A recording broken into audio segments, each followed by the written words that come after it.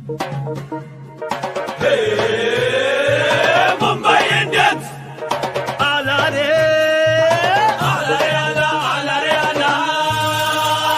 Hi hello வணக்கம் and welcome to cricket Indians Tamil channel இந்த வீடியோவில் நம்ம எதை பற்றி பார்க்க போகிறோம் அப்படின்னா ஸோ டோட்டலாக நம்மளுடைய பல்டான்ஸோட பேஸ் அட்டாக்கோட இஷ்யூவை பற்றி தான் பேச போகிறோம் ஸோ பல்டான்ஸோட பேஸ் அட்டாக் இஷ்யூ அப்படின்னு எடுத்து வச்சு பார்க்கும்போது ஸோ கண்டிப்பாக வந்துட்டு அந்த இடத்துல வந்துட்டு இஷ்யூ இருக்குது ஸோ மெயினாக நீங்கள் வந்துட்டு பேஸ் அட்டாக் அப்படின்னு சொல்லி எடுத்து வைக்கும்போது ஸோ நம்மக்கிட்ட வந்து பார்த்தீங்கன்னா பிளேயர்ஸோட சைடில் ஆல்ரெடி அங்கே பார்த்தீங்கன்னா நான் வந்து சொல்கிறேன் ஓவர்சீஸ் பிளேயர்ஸை மட்டும் நீங்கள் கணக்கில் எடுத்துக்கங்க.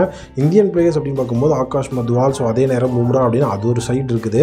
ஸோ அதை விட்டுறலாம். நம்ம ஓவர்சீஸ் சைடில் பார்க்கும்போது Chris Jordan Jofra Archer Jhye Richardson Jason Behrendorff Riley Meredith so அந்த ஒரு படை அண்ட் பட்டியல் நீண்டுக்கிட்டே தான் போயிட்டு இருக்கோம் ஸோ இதில் வந்துட்டு இத்தனை ஓவர்சீஸ் பிளேயர்ஸ் அதாவது ஓவர்சீஸ் பிளேயர் அப்படின்னு எடுக்கும்போது ஸோ கண்டிப்பாக வந்துட்டு அது நம்மளுடைய டீம் மும்பை இந்தியன்ஸ் மட்டும் இல்லை ஐபிஎல்ல ஒரு டீமுக்கு ரொம்ப முக்கியமான ஒரு விஷயம்.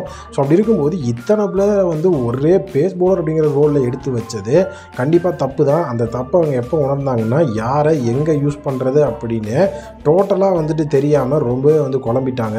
ஏன்னா ஜோஃபர் ஆச்சர் விளாடுவார் விளாட மாட்டார் அப்படிங்கிற ஒரு ஆசிலேஷனில் ஒரு சீசன் போயிடுச்சு கண்டிப்பாக விளாடுவாருங்கிறப்போ கண்டிப்பாக அவரோட பேரா யாரை வைக்கிறது அப்படின்னு சொல்லி அவங்களுக்கு சுத்தமாக தெரில உம்ரா இருந்திருந்தா கூட ஓரளவுக்கு மேனேஜ் பண்ணியிருப்பாங்க. பட் ஆனால் வந்துட்டு ஜெய் ரிச்சர்ட்சன் இல்லை. சரி ஓகே அந்த இஷ்யூ ஷார்ட் அவுட் ஆயிடுச்சு ஜேசான் பேக்கரண்ட் ஆஃப் இருந்தார். மெரிடித் இருந்தார். கிறிஸ்ஜாடான் இருந்தார். ஸோ யாரப்பா எங்கப்பா யூஸ் பண்ணுறது இதில் டுவான் ஜான்சன் ஒருத்தர் வேறு. ஸோ எல்லாத்தையுமே எங்கே யூஸ் பண்ணுறது தெரியாமல் பவுலிங் கோச்சு குழம்பிட்டார். ஸோ இப்போ கண்டிப்பாக அந்த பேஸ் அட்டாக்ல எல்லாத்தையுமே ரிலீஸ் பண்ணுறோம் அப்படின்னு அவங்க சொன்னதுக்கப்புறமா ஸோ இப்போ ஒரு விஷயம் என்ன அப்படின்னா ஸோ யாரை அந்த இடத்துல எடுக்கிறது? ஸோ ஆனால் எல்லாருமே வந்து பார்த்திங்கன்னா ஸ்பின் அட்டாக்ல வந்துட்டு ரவி பிஷ்னாய் எடுக்கலாம் அப்படின்னு சொல்லியிருந்தாங்க. ஸோ ஒரு சிலர் வந்து பார்த்திங்க அப்படின்னா பேஸ் அட்டாக் என்ன ஐடியா கொடுத்தாங்க லாக்கி ஃபெருகுசான் ரபாடா அப்படின்னு அவங்கள யூஸ் பண்ணி அவங்கள வந்து எடுத்துட்டாங்க அப்படின்னா கண்டிப்பாக வந்துட்டு இன்னுமே ரொம்ப இது மிகப்பெரிய விஷயமா இருக்கும். லாக்கி ஃபெர்குசான் ரபாடா அப்படின்னு நம்ம வந்துட்டு கொண்டு வரும்போது ஸோ கண்டிப்பாக அது வந்துட்டு ரொம்பவே தரமான ஒரு விஷயம். நான் ஏன் அது வந்துட்டு ரொம்பவே வந்து ஒரு தரமான விஷயம் சொல்கிறேன்னா ஸோ லாக்கி ஃபெர்குசானை பொறுத்த வரைக்கும் ஸோ டோட்டலாக வந்துட்டு நம்மளுடைய அவர் வந்து ஒரு தரமான கன்சிஸ்டண்ட்டான பேஸ் அட்டாக் வச்சுருக்கிறவர். ரபாடாவையும் வந்து அந்த அளவுக்கு பஞ்சாப் கிங்ஸ் எஃபெக்டிவாக யூஸ் பண்ணல. ஸோ லாக்கி ஃபெர்குசானை வந்துட்டு கேகேஆர் கண்டிப்பாக எங்களுக்கு வந்து வேணும் அப்படிங்கிற மாதிரிலாம் டிமாண்ட் பண்ணாங்க. பட் அதுவும் எஃபெக்டிவாக வந்துட்டு ஒர்க் ஆகலை. ஸோ டோட்டலாக இப்போது கண்டிப்பாக இவங்க ரெண்டு பேர்த்தில் யாராவது ஒருத்தர் வந்தாலே நான் ரெண்டு பேர்த்தையும் எடுக்க சொல்லலை.